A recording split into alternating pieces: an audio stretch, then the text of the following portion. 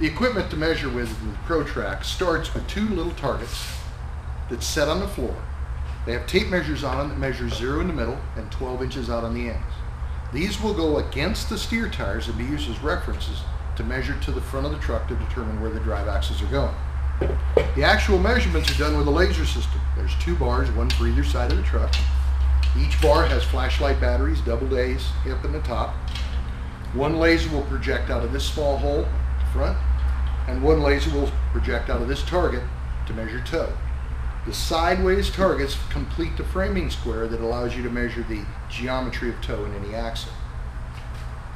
The system also includes an operations manual, a manual on basics on alignment and tire wear problems, a digital level for measuring caster and camber, and a sample of alignment shims.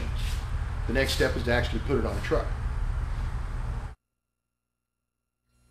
The first step is to drive the vehicle in straight and roll it to a stop so that you have the as-driven position on all the tires. This is important in order to make sure that your measurements match the tire wear conditions in the vehicle. The next step is to set up your targets on the front of each tire so that you have a reference to aim your drive axle lasers at. Each, each target goes down with the zero measurement against the tire at the bottom center of the tire. Now we move to the back of the vehicle and put the lasers on the tires on each side of the axle. We'll start on the rear axle and then move forward on the truck. So on the left side of the truck you hang the laser bar using the straps, place it directly against the side of the tire, and aim the laser forward until it hits the target and you get a measurement. Now this measurement may be 3 or 4 inches, doesn't matter what the number is.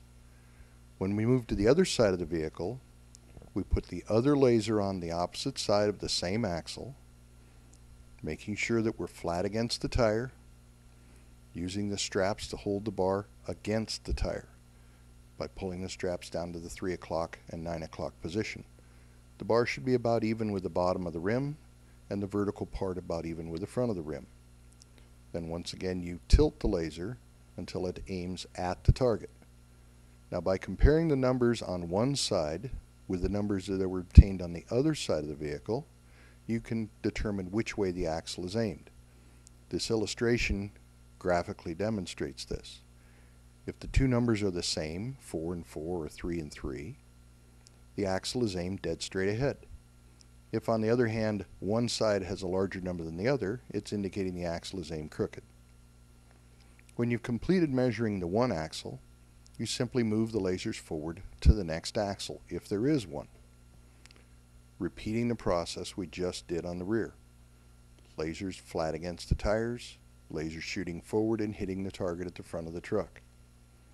One side measurement is obtained. We move to the other side of the vehicle and repeat the process by moving the laser forward.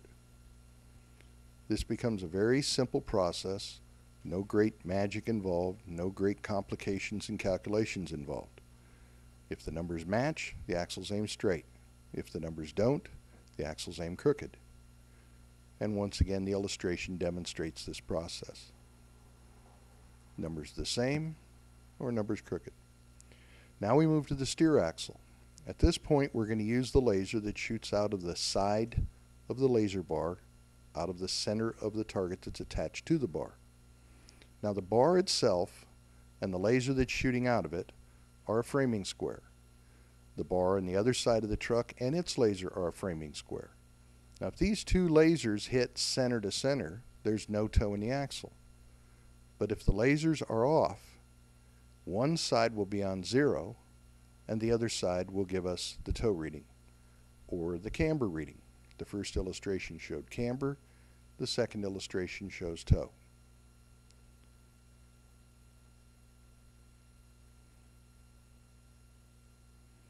As you can see with a slight toe out condition in this axle. As you can see, the measurement of a truck with the Protrak system is very simple and very fast.